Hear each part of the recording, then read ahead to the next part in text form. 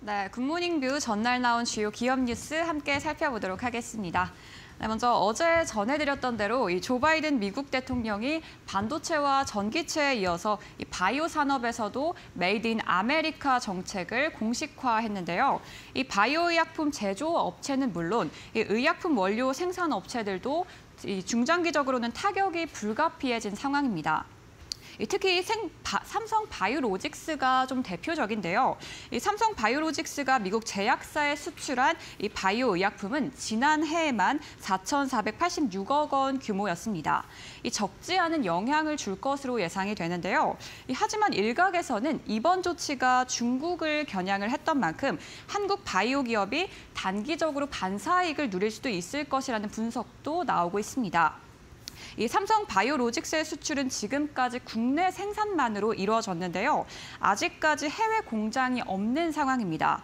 따라서 이번 행정명령의 서명으로 이 삼성 바이오로직스의 미국 투자 이 계획이 급물살을 탈 수 있겠다라는 관측도 제기가 되는데요. 이 국내 바이오 기업들도 함께 잘 체크해 나가시면 좋을 것 같습니다. 또 계속해서 보겠는데요. 이 한국투자증권이 카카오뱅크의 주요 주주로 올라서면서 대형 증권사와 인터넷 은행 간의 시너지를 확대할 것으로 보입니다. 이 그동안 한국투자증권은 금융 제재로 인해서 카카오뱅크의 지분을 간, 간접적으로 보유를 해왔었는데요. 이 한투증권의 100% 자회사인 한국투자밸류 자산운용이 카카오뱅크의 지분을 23.2%를 보유해왔고요. 또 모회사인 한국금융지주가 4%를 가지고 있습니다. 이 한투증권이 금융위의 승인을 받게 된다면 이 카카오뱅크와의 연결고리가 더 강화가 될 전망인데요. 이 두 회사 모두 타 업권과의 제휴에 적극적으로 나서고 있기 때문입니다.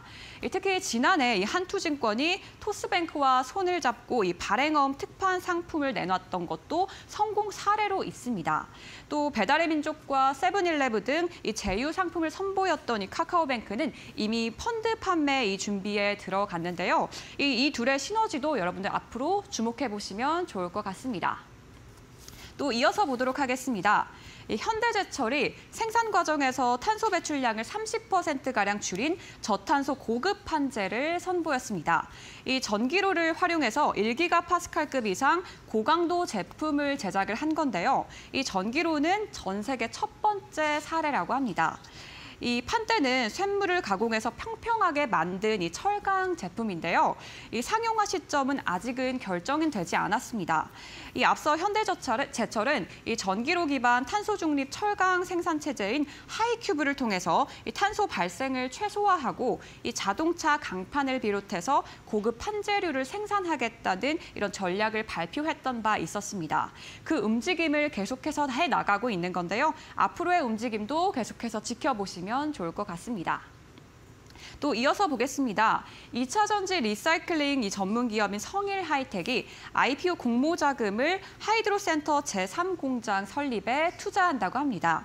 2,147억 원 규모의 신규 시설 투자를 결정한 건데요. 이 투자 금액은 성일 하이텍의 자기 자본 대비 82% 수준이라고 합니다. 이 회사 측은 투자를 통해서 2차 전지 리사이클링 시장의 성장 대응과 이 생산 능력을 확보하겠다 이렇게 밝혔는데요. 이 투자는 2025년 6월 30일에 집행이 될 예정입니다. 이 성일하이텍의 대표는 IPO를 통해서 이 공장 설립 자금을 확보하고 2025년에는 연매출 5천억 원 규모의 글로벌 최고 수준의 생산 능력을 확보하겠다 이렇게 밝히기도 했는데요. 이 글로벌 시장에 이렇게 자신감을 드러낸 만큼 앞으로 움직임도 체크해 보시면 좋을 것 같습니다. 지금까지 굿모닝 뷰의 김예솔이었습니다.